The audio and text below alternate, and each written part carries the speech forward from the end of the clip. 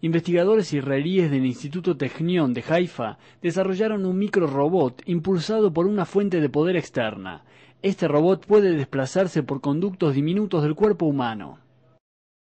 The thing that makes this special is uh, the size that we are achieved with this project and the mechanism that can actually propel inside the body. So, and we think that even the size that right now we have, which I said it's about one millimeter, we can reduce it even further because the type of fluctuations enable us to make it uh, even smaller than that. The general idea behind the project was to try to develop a small uh, device that can uh, go inside the human body uh, in order to reach uh, several locations for therapeutic and for diagnostic.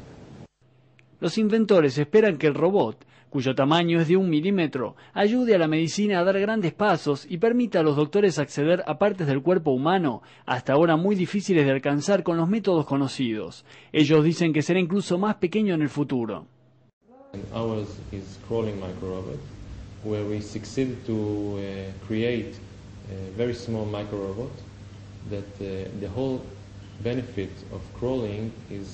Being able to withstand the flow of the blood. The robot can move itself using uh, outer actuation. That means that there's no uh, onboard actuation, no um, uh, batteries on board.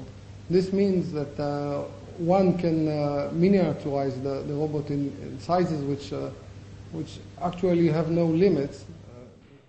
Este adelanto tecnológico servirá a la medicina para mejorar las capacidades de diagnóstico y tratamiento, y servirá para el beneficio de todos.